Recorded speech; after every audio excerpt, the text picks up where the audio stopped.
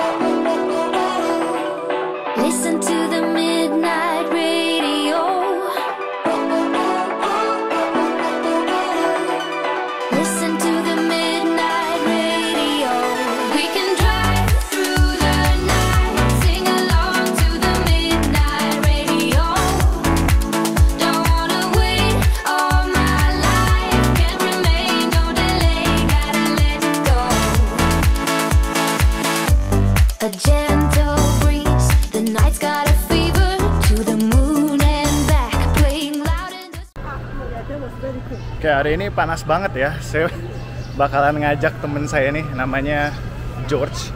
Kita ketemu aja langsung sama temen saya nih ya. Ada. Oke bro, George, how are you? How's it going? Right now we're in Chinatown, New York. Uh, we're tr- trying out different foods, and I want to practice my Chinese today. So, for any of you Indonesians who might speak Chinese, maybe you'll pick some of it up.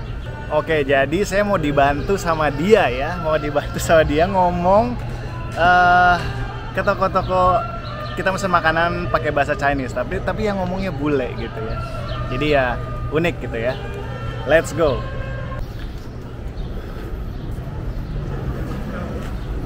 Kayak di Chinatown ini rame banget ya, kalian bisa lihat tuh rame banget. Banyak banyak banyak orang,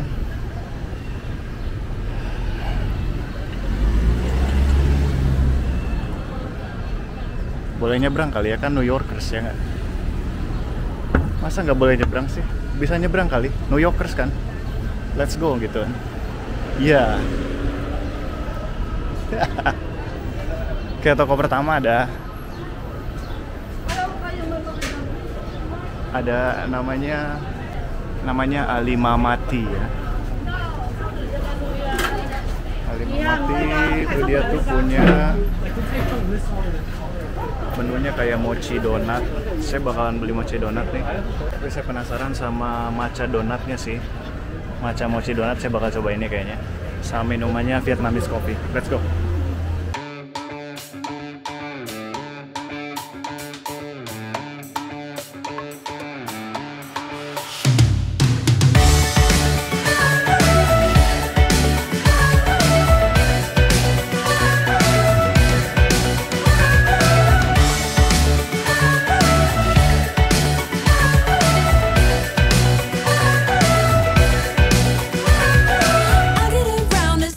Oke guys, jajanan murah yang pertama kita mau beli mochi donat sama Vietnamese coffee guys.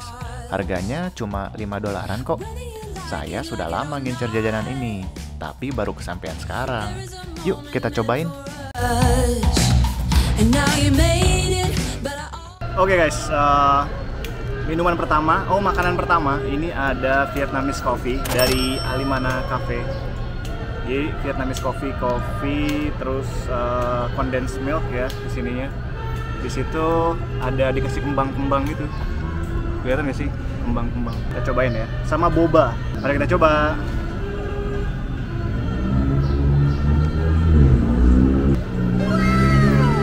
Enak. Bobanya kecil-kecil gitu ya. Vietnamese coffee gimana sih kayak kopi susu cuman ditambahin sama eh, susu kental ya condensed milk. Kopi, susu kental sama boba. Enak banget. Sama ada kembang-kembangnya itu. Enak ya? Okay, what do you have, George? Uh, I got a Vietnamese coffee, part condensed milk, part regular uh, cold brew. Uh, I actually I've been to Vietnam and I, I never saw it there, but when I started coming to New York, uh, I would see it all the time in Chinatown and like it's very good, especially the condensed milk. So we had to pick it up from a local coffee shop, and we also got some donuts too. Oke, kita dapat mochi donat ya. Ini bakal kita coba.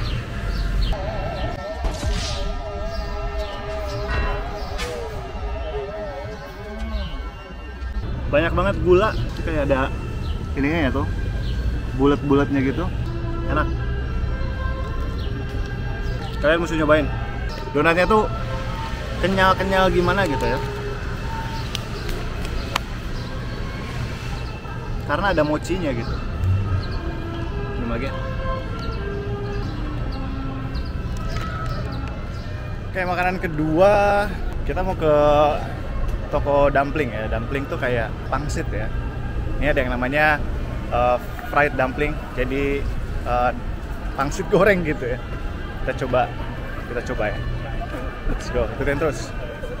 This, not interested. Open your eyes, let's get it done. Take my hand, just follow me. Shadow and me are one.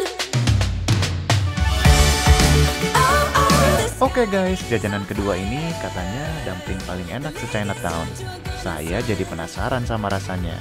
Kayak gimana sih enaknya? Masalah harga tetap 5 dolaran ya guys. Nah, ini ya, kita bakalan beli ini. 15 buat 5 dolar murah banget. Oke guys, em, teman saya bakalan ngomong ya, mesen karena penjualnya ngomong Chinese gitu, saya nggak bisa bahasa Chinese. Teman saya bisa bahasa Chinese. Mudah-mudahan pada, mudah-mudahan nyambung.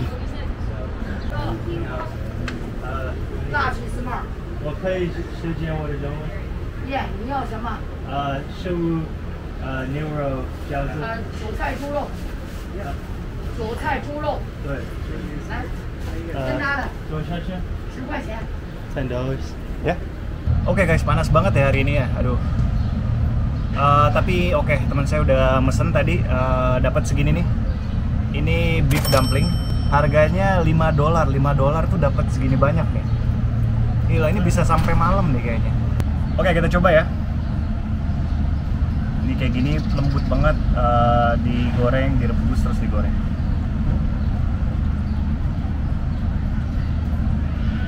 Beef dumpling. It's pretty good.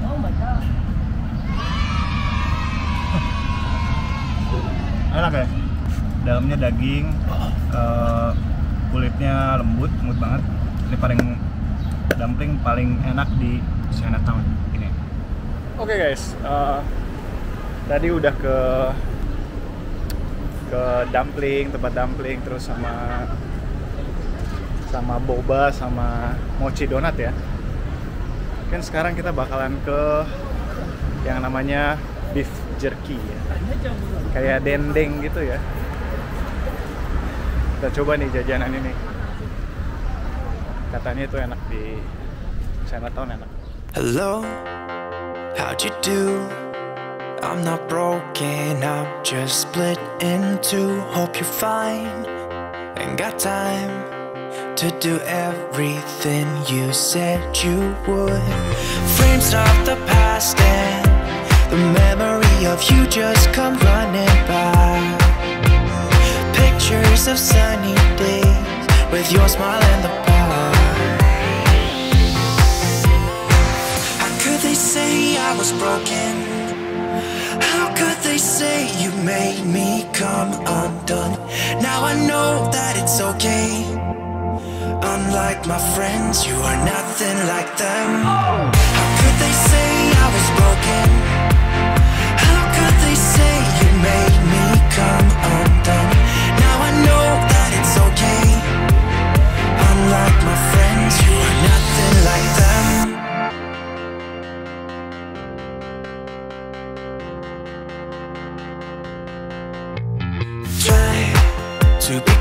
Oke guys, jajanan murah yang ketiga sebenarnya saya mau cari mooncake nih guys. Tapi di toko-toko pastry udah pada sold out. Jadi kita langsung aja ke beef jerky. Katanya ini beef jerky paling enak di Chinatown. Let's go!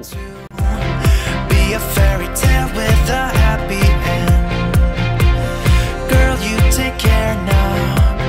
So ini spicy, yang ini non spicy ya.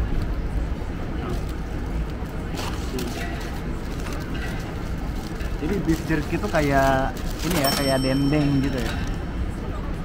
Cik. It's not that salty at all. Ya. Nggak terlalu asin, nggak terlalu keras. Biasanya kalau beef jerky itu keras, tapi ini masih lembut gitu. Is good? I've never had beef jerky like this. Panas, panas. Set hot. Cuk. Hanra. Jintian to Tianxi Hanra. okay, what does that mean? Today's weather is very hot. hot today.